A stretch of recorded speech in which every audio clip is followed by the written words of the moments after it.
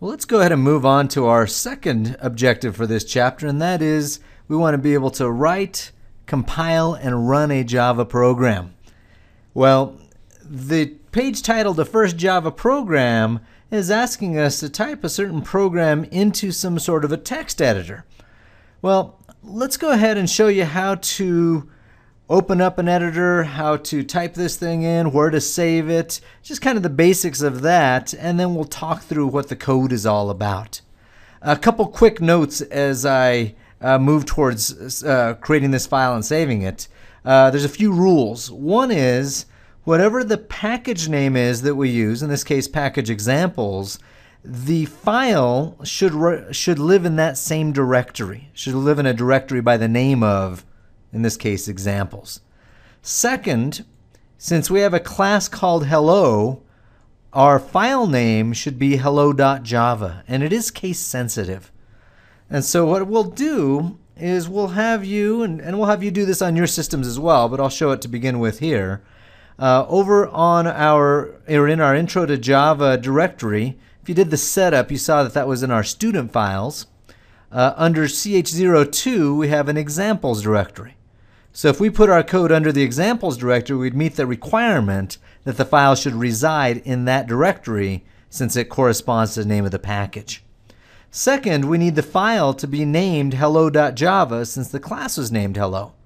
And maybe the quickest thing for me to do would be to do a right click, new uh, text document here inside of this directory and say we want to create something called hello.java. And I don't want it called .txt. I want it to be a .java file. Well, when I do that, Windows argues with me and says it doesn't know what a .java file is, and that's okay. I'll just say yes. Uh, but the problem here is if I were to try to open this, it wouldn't necessarily know what to open it in. It doesn't know uh, what what program to edit a .java file in.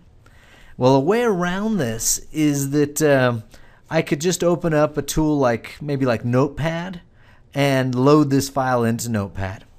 So on my keyboard, I'm going to hit the Windows key and the R, R is in Roger, and that'll be, bring up the run box, and I'll just type in the word Notepad, and that'll open up the Notepad window.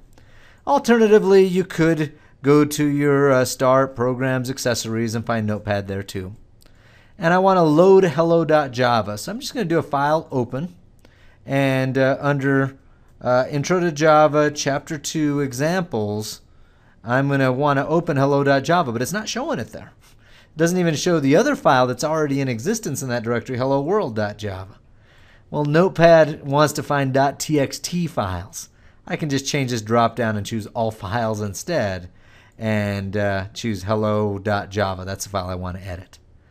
When I click open, there's nothing in there because it's a brand new file. So this is where we would type in package examples semicolon public class hello open curly brace. Now I just close my curly brace after I've opened it.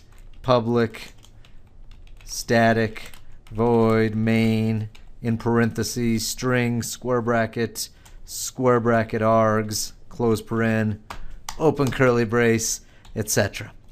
And, and inside of here I like to, to indent and you could use a tab if you want to. I use four spaces. That's just my habit.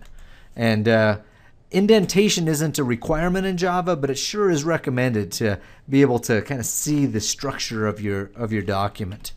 And so what I'd like to have you do is uh, on your systems do what I just did, which is create a file called hello.java under your chapter 2 examples directory and type in the content that's in uh, in the workbook here.